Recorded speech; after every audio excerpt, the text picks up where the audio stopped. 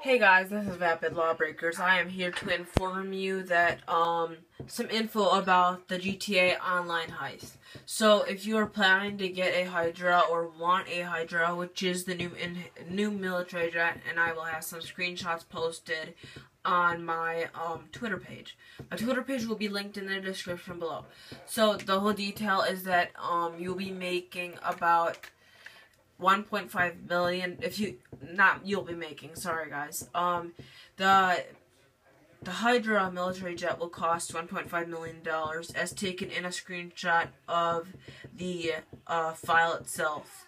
So um yeah i would recommend saving up starting now but uh, it does cost money to start up a heist.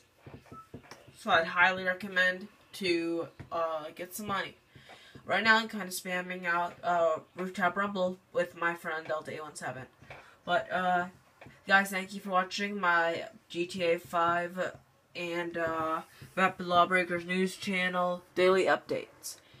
The next one will be coming to you. Hit a like and subscribe.